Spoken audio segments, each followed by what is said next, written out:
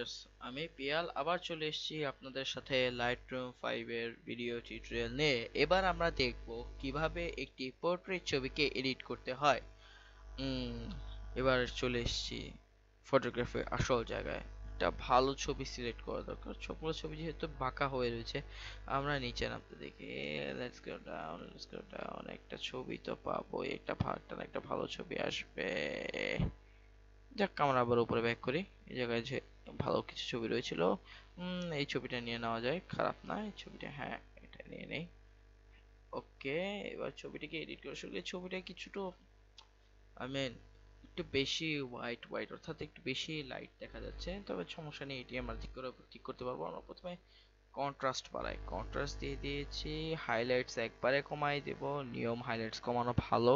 Shadow এই দেখেন shadow বাড়ালে আসলে আবার হোয়াইট হয়ে যাচ্ছে শ্যাডোটা একটু কমাই তাহলে একটু ডার্কার ডার্কার ফিল আসে। ব্ল্যাকটা বাড়াবো। দেখুন, কীভাবে কন্ট্রাস্ট ডার্ক হয়ে গেল ব্ল্যাক বাড়ানোর কারণে। এবার হোয়াইটটা কমিয়ে দিই, দেখা যাবে একটু হোয়াইটনেস এটা একটু ব্লেমিশ যেমন ছিল চলে গেছে। চাইলে এক্সপোজার কমায় দেওয়া যায়। Minus point one point two দিয়ে দিলাম। ক্লেট একটু বাড়িয়ে দিই। এবার আমরা টেম্পারেচার বাড়াবো না কমাবো? কোনো কিছু দরকার নেই, এভাবেই থাক, এভাবেই বেটার হ্যাঁ। এবার চলে যে কালার টোন কার্ভ আবারও বলছি টোন কার্ভ কোনো প্রয়োজন পড়ে না। পোর্ট্রেটের ক্ষেত্রে টোন টোন আসলে না পারলে ইউজ করবেন না ভাই। টোন কার্ভ খুবই বিরক্তিকর জিনিস। এটা আসলে আপনাকে, আপনি দেখতে চমৎকার লাগবে। আপনি ছবি এডিট করছেন আপনি দেখতে খুব জোস লাগবে। হ্যাঁ আমার টোন কার্ভ চেঞ্জ করাতে অনেক ভালো লাগছে, কিন্তু টোন কার্ভ পরে ডিস্টার্ব করে। আসলে আপনার সব সব ক্ষেত্রে ছবি আপলোডও করতে পারবেন না, আর সব ডিসপ্লেতে আপনাকে মানাবেও না। আমরা আপাতত কালার দিয়ে দিয়েছি। এবার একটি একটি পোর্ট্রেটে সবচেয়ে বেশি মানে গুরুত্বপূর্ণ জিনিস হচ্ছে তার যে মডেল তার বা যে মানে প্রোডাক্ট বা যে আপনার আইটেম বা যে জিনিসটাই বা থাকবে আপনার যে সাবজেক্টই থাকবে, সেটিকে আপনি দেখবেন সেটি ক্লিয়ার আছে কিনা বা তার ফেসে কোনো প্রবলেম আছে কিনা। দেখুন, আপনার ফেসে অনেক নয়েজ দেখা যাচ্ছে। আমরা ফার্স্টে শার্প করি। আগের তুলনায় শার্প করেছে। এবার আমরা একটু নয়েজ রিডাকশন করি। দেখি কেমন হয়। নয়েজ হ্যাঁ অনেকটা কমেছে। দেখতে পাচ্ছেন, অনেকটা কমেছে। এবার আমরা ডিটেল থেকে বের হয়ে যাই ক্লিক করি। এখন দেখুন দুটির মধ্যে পার্থক্য।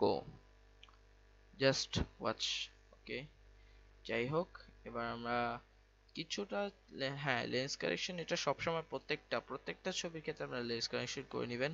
এবার ইফেক্ট হাইলাইট ইফেক্ট আমরা যদি একটু দেই, তাহলে দেওয়া যায় ফেদার ফুল দিয়ে দেই ফেদার হ্যাঁ।